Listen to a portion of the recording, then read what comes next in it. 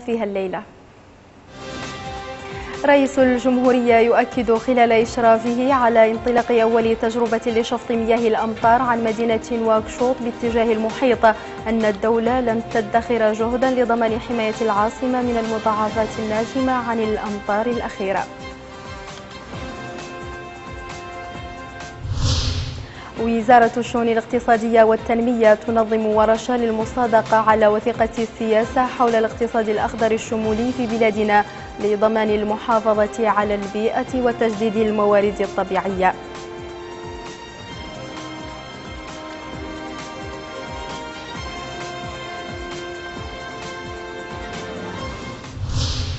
أعضاء الحكومة يواصلون اللقاءات الموسعة مع المواطنين في مختلف الولايات لتعبئتهم حول ضرورة التسجيل على اللائحة الانتخابية والمشاركة في الاستحقاقات القادمة.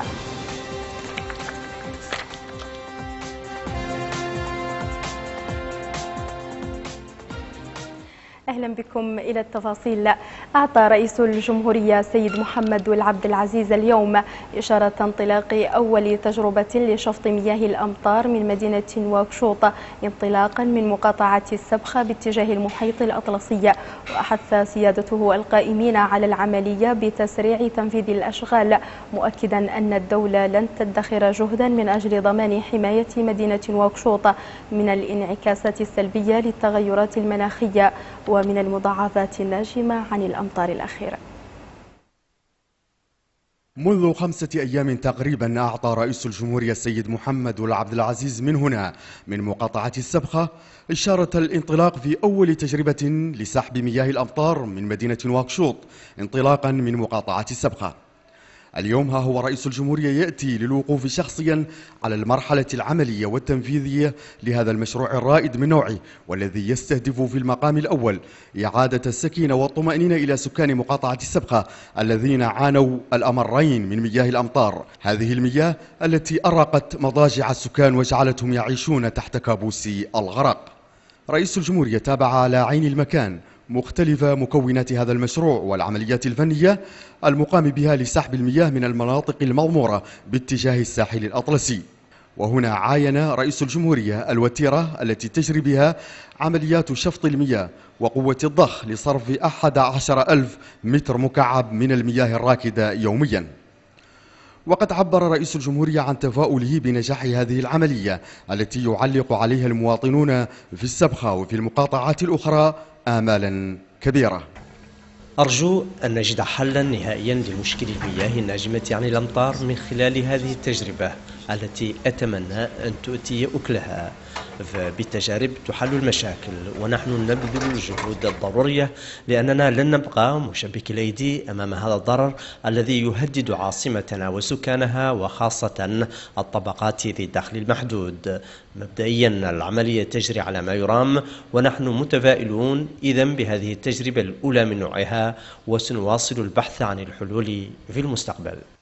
المواطنون في مقاطعة السبخة رأوا في هذه العملية تجسيدا لأحد أهم مطالبهم الجوهرية والأساسية.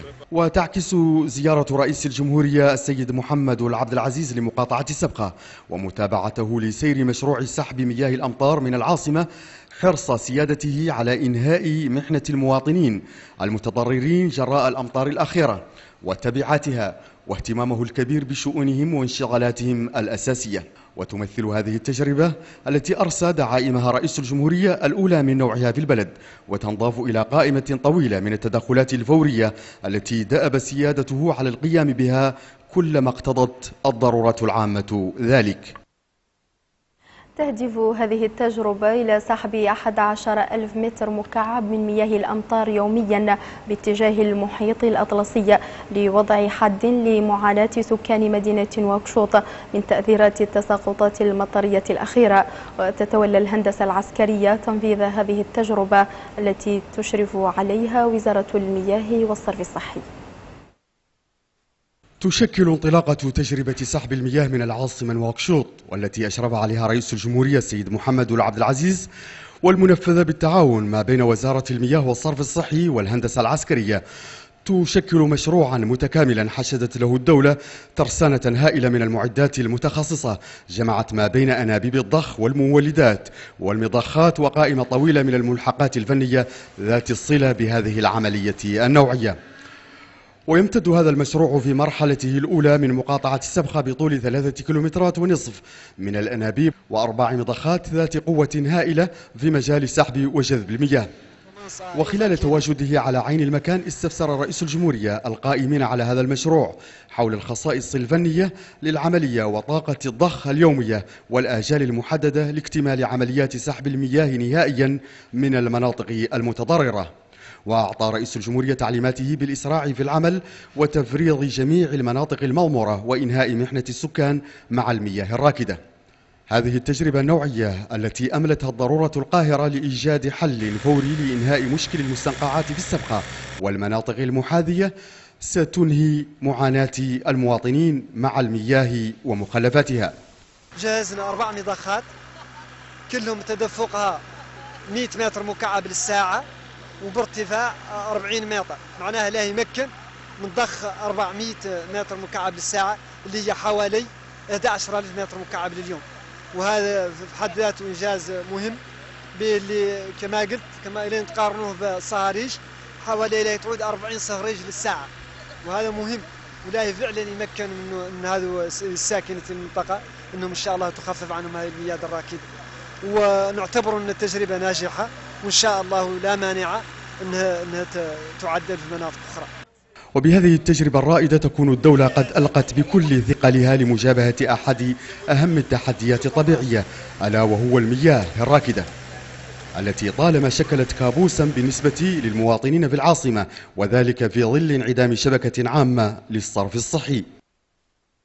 تأخرت طائرة الفوج الأول عن موعد إقلاعها الذي كان محددا له زوال اليوم السابع والعشرين من شهر سبتمبر الجاري ويعود تأخر فوج حجاجنا الميامين إلى عطب أصاب طائرة الركاب التي كانت في طريقها لنقلهم إلى الديار المقدسة.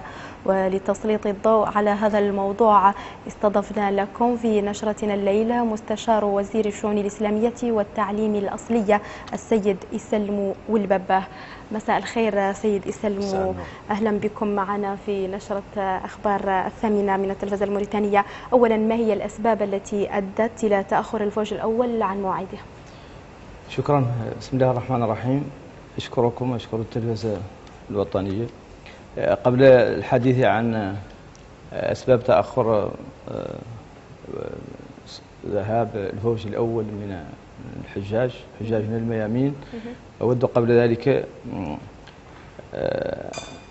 أن أقول إن الحج كما هو معروف هو أحد أركان الإسلام الخمس. ولذا فإن السلطات العمومية تعطيه عناية بالغة وكبيرة.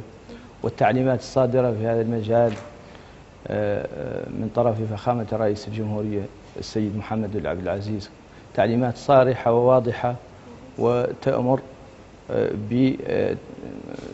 بتنظيم عملية الحج وتحضيره في ظروف جيدة وشفافة وسهلة بالنسبة للحجاج وفي هذا الإطار وزارة الشؤون الإسلامية والتعليم الأصلي قامت بتحضير هذا الموسم 1434 هجرية 2013 ميلادية في ظروف طبيعية وشفافة حيث مرت هذه العملية بمرحلتين. مرحلة أولى هي مرحلة تحضيرية ومرحلة ثانية هي مرحلة مرحلة تنفيذية. المرحلة التحضيرية تتعلق أساسا بتحضير الجوانب الإدارية والمالية والتشريعية وتمت بالفعل على مستوى بلادنا هنا. وأيضا اختيار الوكالات التي ستساهم هذا العام في تحجيج مجموعة من الحجاج. كذلك تم اتخاذ تحضير العملية على مستوى البلاد المقدسة حيث تم تهيئة الظروف الملائمة لتأدية حجاجنا الميامين لمناسكهم حيث تم تحضير تأجير سكن لائق قريب من الحرم النبوي في المدينة المنورة وأيضا سكن ملائم في قريب أيضا من الحرم المكي في مكة. وكذلك الإجراءات المتعلقة بالنقل والإقامة هناك. منذ يوم الاثنين الماضي بدأنا في العملية التنفيذية وهي اتخاذ إجراءات السفر بالنسبة للحجاج. ومرت أيضا هذه العملية بشفافية وبتنظيم. واليوم هنا أعود إلى سؤالك عن أسباب عدم سفر الفوج الأول. هذا الفوج الأول استدعيناه اليوم وقمنا باتخاذ كافة الإجراءات المتعلقة بالسفر. ووصلت الطائرة في وقتها المناسب. ولكن ومع الأسف بعد هبوط هذه الطائرة تعرضت اصطدمت بعمود كهربائي أصابها بعطب. وبالتالي أصبحت هذه الطائرة لا يمكن أن تسافر بحجاجنا الميامين وقامت الوزارة بالتعاون مع شركة الموريتانية للطيران الدولي باتخاذ كافة الإجراءات من أجل تعويض هذه الطائرة. وبالفعل نجحنا في هذه القضية وأعطتنا الشركة المتعاقد معها طائرة هذه الطائرة أريد أن أطمئن الحجاج المسجلين على هذا الفوج أنها الآن تعبر الأجواء ومن المقرر أن تصل هنا الساعة الواحدة. المستشار هذا يقودنا إلى السؤال التالي. إذا متى سيكون موعد إقلاع أو مغادرة الفوج الأول من الحجاج بإذن الله؟ هذا هذا هو الذي أريد أن أصل إليه. الطائرة آه، تعبر الأجواء الآن وستصل إن شاء الله الساعة الواحدة صباحا هذه الليلة. وأريد هنا من خلال هذا المنبر أن أدعو جميع الحجاج المسجلين على آه، في الفوج الأول أن يتواجدوا الآن في هذه اللحظات في مباني معهد بن عباس لاتخاذ إجراءات سفرهم ونقلهم إلى المطار من أجل آه، المغادرة. آه، التي ستكون إن شاء الله الساعة الثالثة آه، صباحا. بإذن الله. إن شاء الله. ماذا عن برنامج الرحلات المتبقية؟ وهل ستتأخر عن موعدها آه، كما وقع مع الفوج الأول؟ شكرا. بالنسبة للرحلات الأفواج الأخرى الفوج الثاني والثالث والرابع هذه الأفواج لم يصلنا أي تغيير من الشركة شركة آه، الموريتانية للطيران الدولي. وبالتالي نعتبر أن هذه آه، الأفواج آه، مغادرتها تبقى في وقتها ولم يكن هناك وليس هناك أي تغيير. إذا سيد المستشار سلمو البابا شكرا جزيلا لك. شكرا. وبالعودة إلى باقي نشرتنا لهذه الليلة احتضن قصر المؤتمرات مساء أمس أعمال ورشة للمصادقة على وثيقة السياسة حول الاقتصاد الأخضر الشمولي في موريتانيا. يهدف اللقاء إلى عرض مذكرة سياسة النمو الأخضر الشاملة والمصادقة على محتواها للانتقال إلى نموذج متوازن يضمن المحافظة على البيئة وتجديد الموارد الطبيعية في بلادنا. استحداث نموذج تنموي مستدام وشامل يستجيب لتطلعات الجيل الحاضر ويضمن حقوق الجميع لتأمين حياة كريمة في بيئة سليمة. هو أهم محاور الورشة التي نظمها قطاع الشؤون الاقتصادية بالتعاون مع البنك الدولي. حفل الانطلاقة كان مناسبة للحديث عن جهود السلطات العمومية في المجال التنموي. نتظم هذه الورشة الذي يأتي أشهرا قليلة بعد انعقاد ورشة التحسيس حول مفهوم النمو الأخضر الشامل يندرج ضمن مسار هادف إلى استحداث نموذج تنموي مستدام وشامل يستجيب لتطلعات الجيل الحاضر ويضمن حقوق الأجيال المقبلة. بتأمين حياة كريمة تضمن بيئة سليمة.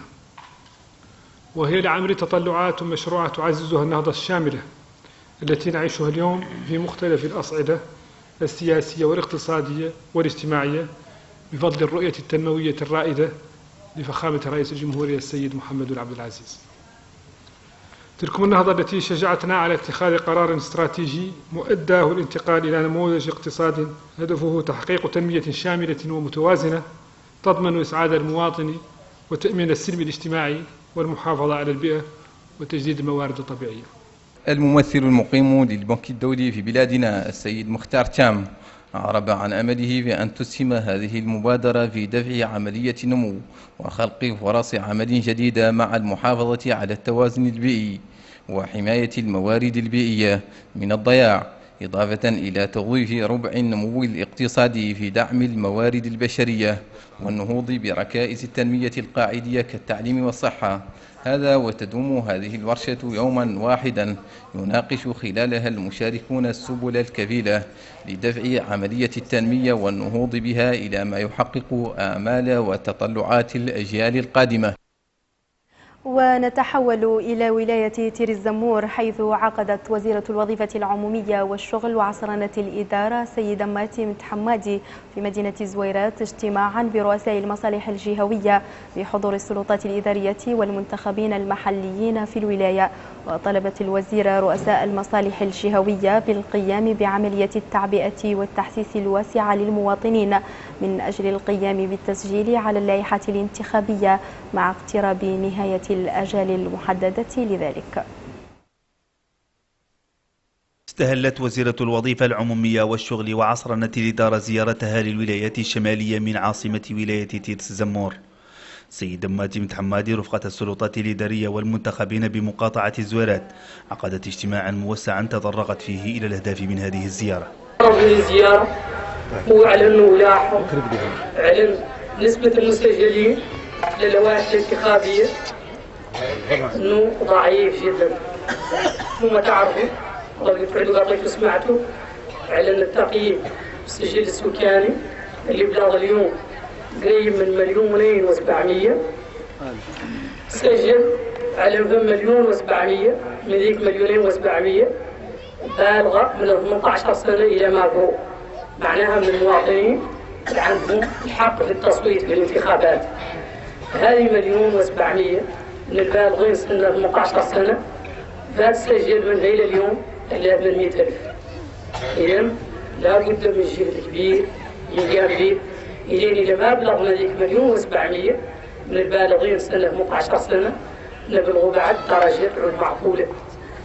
ما هو التباعد البين الواضح بذلك الأساس وعدلت هذه البعثات الغرض منها أعلنوا هذه الأطر اللي من مواليد المدينة يدعموا الحكومة بهذا التوجه وتتحق بهم الولاية كيف تكون المنتخبون والوجهاء والروابط الشبابية والنسبية الفاعلين السياسيين والاقتصاديين وأيضا خاصة المجتمع المدني.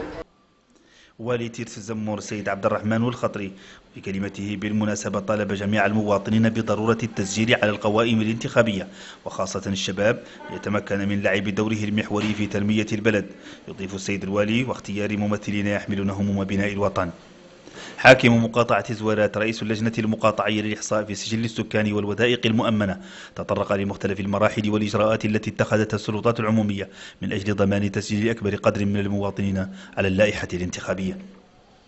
المتدخلون في هذا الاجتماع ثمنوا مختلف السياسات والبرامج التي تنفذها السلطات العمومية لصالح المواطنين في مختلف مناطق الوطن مجددين المطالبة بالمزيد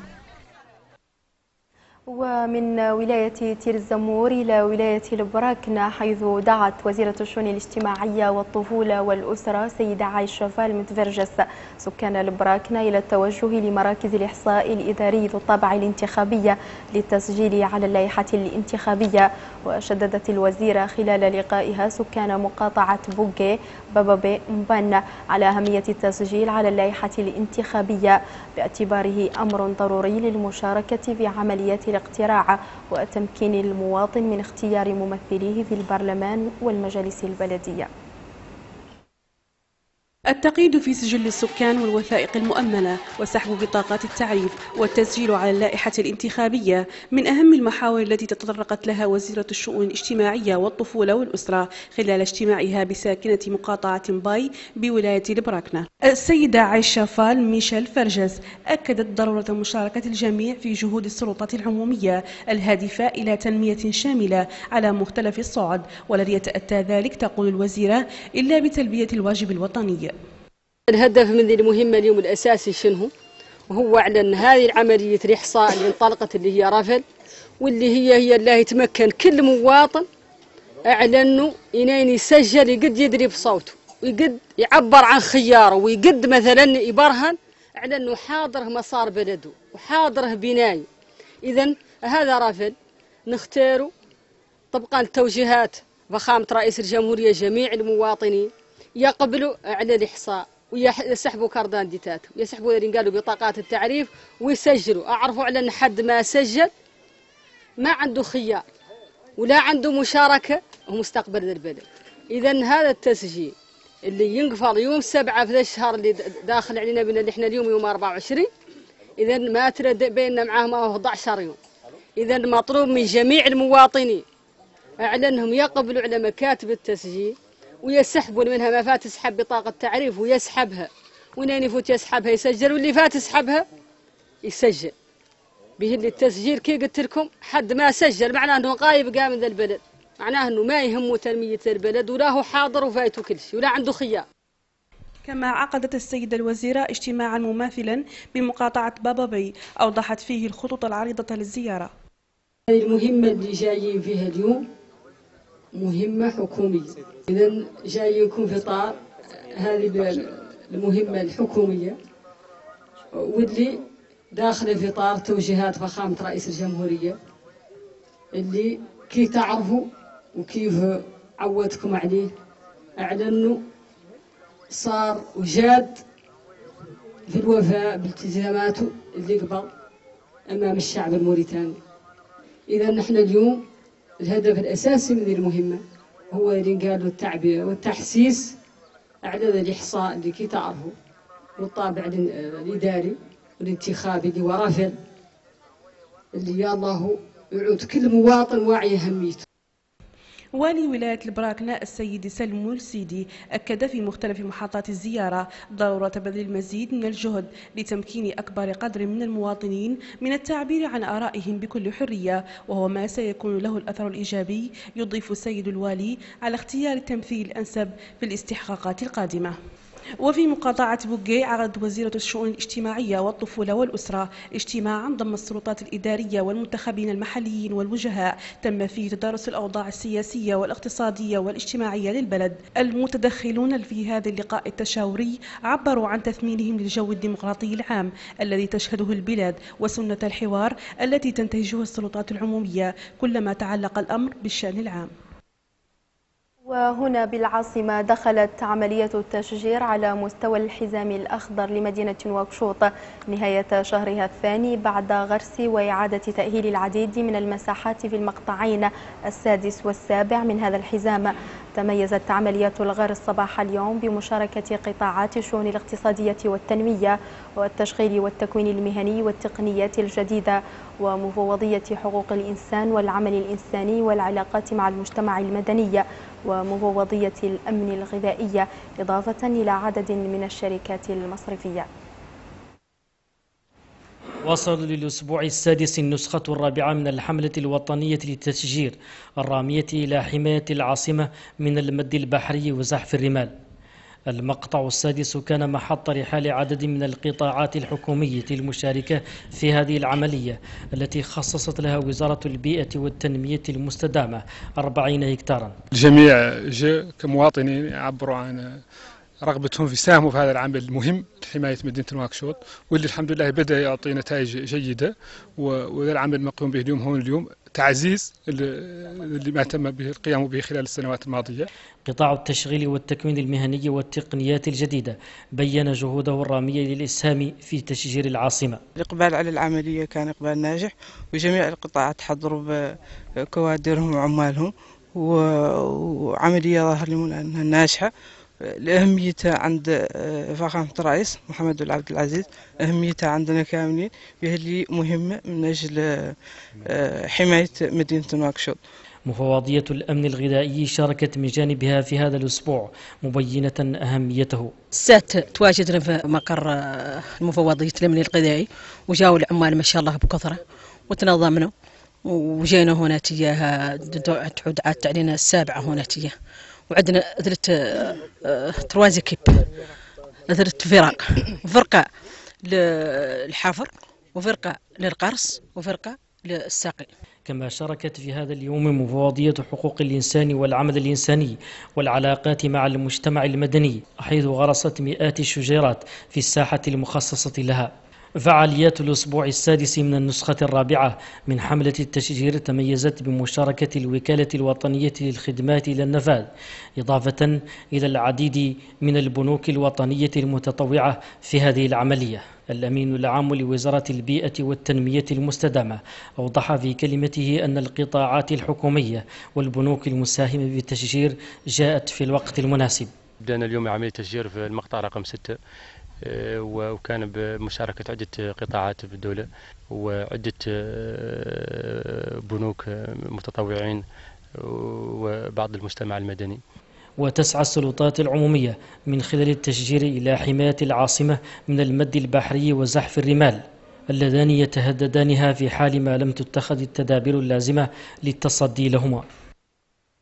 وفي بيان لوزارة الداخلية يطلب ولي واكشوط ورئيس مجموعتها الحضرية من كل من يحتل بصفة غير شرعية الشارع العام أو الممرات الداخلية للسوق إخلاءها في أجل أقصاه يوم الأحد المقبل. وأكد ولي واكشوط ورئيس مجموعتها الحضرية في بيان أصدره اليوم أنه سيتم اللجوء بكل صرامة إلى الإجراءات الضرورية لضمان التطبيق الحرفي للنصوص القانونية المعمول بها في هذا المجال.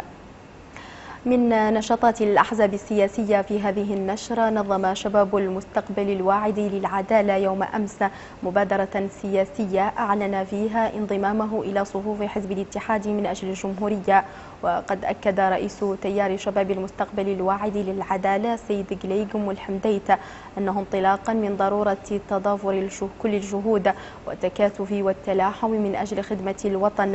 أن التيار قرر الانضمام إلى حزب الاتحاد من أجل الجمهورية لما لمسه لدى هذا الحزب من استعداد تام لخدمة قضايا الوطن الجوهرية والدفاع عن مكتسباته. وقد حضر هذا اللقاء عدد من قادة وأطر حزب الاتحاد من أجل الجمهورية وجمع من أنصار تيار شباب المستقبل الواعد للعدالة. الأمين التنفيذي المكلف بالشؤون السياسية للحزب السيد محمد محمود الجعفر أكد أن الحزب يرحب بهذه المجموعة النشطة ويعول عليها في دعم خياراته الوطنية. باسم رئيس حزب الاتحاد من أجل الجمهورية. أه نود أن نعبر عن ترحيبنا الكامل واعتزازنا بإعلان أه تيار المستقبل الواعد من أجل العدالة بالانضمام الاتحاد من أجل الجمهورية. ونثمن عاليا المسوغات التي وردت في البيان والتي عكست أن هذا القرار نابع عن قناعة تعي خصوصية الظرفية التي يعيشها البلد ومحورية دور الاتحاد من الجمهورية في مسيرة البناء الوطني. ونحن مع ترحيبنا الكامل برئيس وأعضاء تيار المستقبل الواعد من أجل العدالة. نطمئنهم ونؤكد لهم بأنهم محقين في قرارهم بالانضمام للاتحاد من أجل الجمهورية لأنه بالفعل مشروع سياسي واعد يؤسس للمستقبل ويبني للحاضر وأنهم محقين أن من خلال هذا الحزب سيمكنهم إن شاء الله تحقيق العدالة الاجتماعية التي يطمحون إليها. شأن آخر عقد اتحاد العمال الموريتانيين مساء أمس مؤتمرا صحفيا سلط فيه الضوء على الاستعدادات الجارية لحملة الانتساب التي ستطرقها النقابة اعتبارا من فاتح أكتوبر القادم وستتضمن هذه الحملة إعادة تنصيب هياكل الاتحاد هياكل الاتحاد القاعدية على كافة التراب الوطنية تمهيدا للمؤتمر الوطني للمركزية النقابية.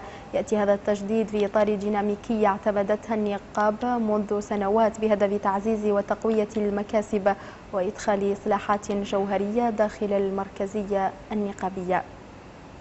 وطلب الأمين العام لاتحاد العمال الموريتانيين السيد عبد الرحمن والبوبو النخب والأطر الانضمام إلى النقابة لضخ دماء جديدة في هذه المركزية النقابية. طالب هو من ذا المنبر. عن عن الأطر. عن الأطر. سواء كانوا اقتصاديين ولا قانونيين ولا صحافيين ولا يسوهما منهما على المستوى عنهم يتصلوا بينا ويدخلوا الاتحاد العمال الموريتانيين بكثرة. نقابة ما عندها هذه الأدمغة شري تتخمن بمشروع اقتصادي انطرح؟ شري تفهم فيها أنه كانوا صالحنا ولا ما هو صالحنا؟ أنا أنا طالبين هذه الأدمغة وهذه هذه هذه الأطر أنها تدخلنا وتجي معانا وتعود في قيادتنا وإذا ما هي صايبة لقيادتنا تعطينا أفكارنا تزودنا بهم. يا كان إلى نناقشوا مع الحكومة والله نناقشوا مع الأرباب العمل عندنا شيء باني عليهم عدن وأدمقة من نحن.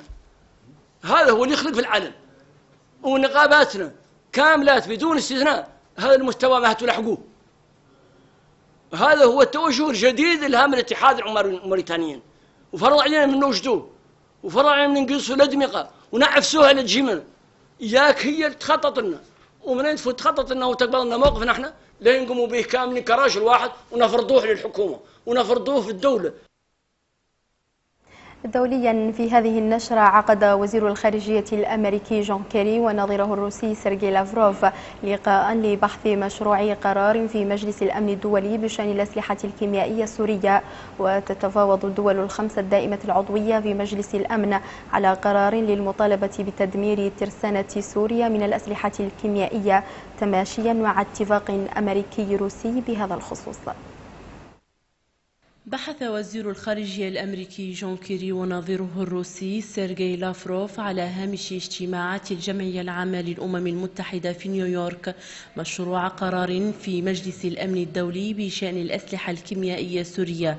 وتتفاوض الدول الخمس الدائمة العضوية في مجلس الأمن على قرار للمطالبة بتدمير ترسانة سوريا من الأسلحة الكيميائية تماشيا مع اتفاق أمريكي روسي بهذا الخصوص. وقالت روسيا إنها لن تقبل قرارا أوليا تحت البند السابع من ميثاق الأمم المتحدة الذي يخول مجلس الأمن فرض عقوبات أو استخدام القوة. وهنا تؤكد روسيا أن أي إجراءات عقابية لن تأتي إلا في حالة وجود أدلة واضحة على عدم التزام سوريا. لكن المسؤول الأمريكي لم يوضح إن كان القرار الذي تجري مناقشته سيتضمن إشارة إلى الفصل السابع. قللت إيران من فرص التوصل إلى انفراج سريع في محادثاتها التي تجريها مع الوكالة الدولية للطاقة الذرية التابعة للأمم المتحدة بشأن برنامجها النووي. وذلك عقب إعلان الخارجية الإيرانية توصلها والدول الستة المشاركة في المفاوضات إلى اتفاق على تسوية للنووي الإيراني خلال عام. وقال وزير الخارجية الإيراني محمد جواد ظريف بعد اجتماعه بنظيره الأمريكي جون كيري إن بلاده والدول الست المشاركة في المفاوضات بشأن البرنامج النووي الإيراني حددت هدفا بالتوصل إلى تسوية خلال عام. من جهته أعلن كيري أن واشنطن قد ترفع عقوبات عن إيران خلال الأشهر المقبلة إذا وافقت طهران على اتخاذ إجراءات سريعة للسماح بالمراقبة الدولية لبرنامجها النووي. وإلى الهند حيث قتل ثلاثة أشخاص وفقد ما لا يقل عن سبعين آخرين في انهيار مبنى في خمسة طوابق في بومباي عاصمة الهند الاقتصادية. ووفق حصيلة ضحايا مرشحة للارتفاع في حادث جديد يبرز ضعف معايير البناء في ثالث أكبر اقتصاد في آسيا. ويشارك رجال إطفاء وأفراد من الشرطة وموظفو إدارة الكوارث في عملية البحث والإنقاذ لأزيد من عشرين شخصا عالقون تحت الأنقاض. وقد تجمعت عائلات المفقودين لمتابعة عملية الإنقاذ وسط حالة من القلق والحزن. النشرة متواصلة بعد فاصل قصير ولكن هذه المرة مع جديد الملاعب مع إبراهيم والمحمد المختار.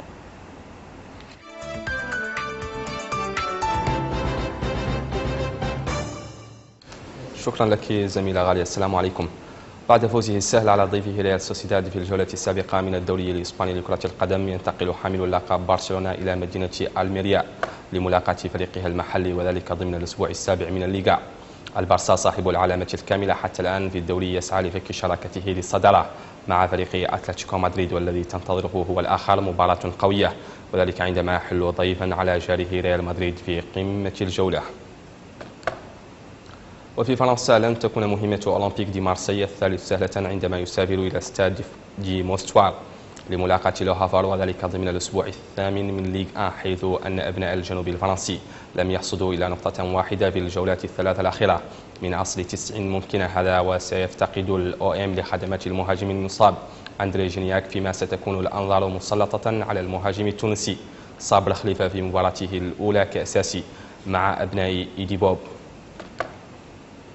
بعد أن عادت الثقة للاعبيه بعد الفوز على الغريم ليفربول في كأس رابطة الإنجليزية لكرة القدم يسعى مانشستر يونايتد إلى مواصلة الانتصارات وذلك عندما يستضيف ويست برومش ألبيون ضمن الأسبوع السادس من الدوري الإنجليزي الممتاز لكرة القدم فيما ستتوجه الأنظار إلى ملعب الوايت هارت لاين والذي سيكون مسرحا لقمة الأسبوع السادس من البريمير ليج بين توتنهام هوتسبير وجاره تشيلسي حيث يسعى سبيرز لمواصلة تربعهم على الصدارة. مناصفة مع أرسنال فيما يأمل البلوز في خطفها. دائما في الدوريات الأوروبية حيث يسعى بروسيا دورتموند إلى مواصلة تربعه على صدارة الدوري الألماني لكرة القدم وذلك عندما يستقبل صاحب المركز السادس فرايبورغ في معقله السيجنال إيدونا بارك بدوره باير ليفركوزن الثالث وصاحب العروض القوية منذ الموسم الماضي في البوندسليغا. يستقبل هانوفر على ملعبه الباي أرينا. هذا وكان ليفركوزن قد صعد للدور الربع النهائي من الكأس الألمانية بينما خرج هانوفر على يد بايرن ميونخ الثلاثاء الماضي. بهذا تنتهي جولتنا في عالم الرياضة أعود بكم إلى زميلتي الغالية لاستكمال بقية نشرة دمتم في أمان الله.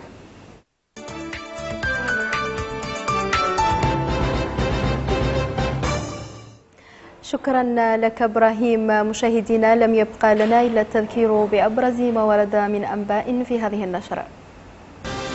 رئيس الجمهورية يؤكد خلال إشرافه على انطلاق أول تجربة لشفط مياه الأمطار عن مدينة واكشوط باتجاه المحيط أن الدولة لن تدخر جهدا لضمان حماية العاصمة من المضاعفات الناجمة عن الأمطار الأخيرة.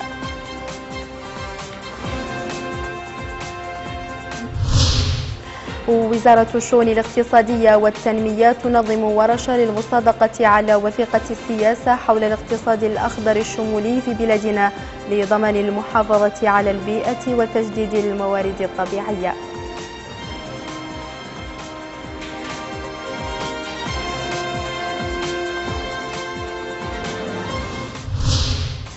أعضاء الحكومة يواصلون اللقاءات الموسعة مع المواطنين في مختلف الولايات لتعبئتهم حول ضرورة التسجيل على اللائحة الانتخابية والمشاركة في الاستحقاقات القادمة.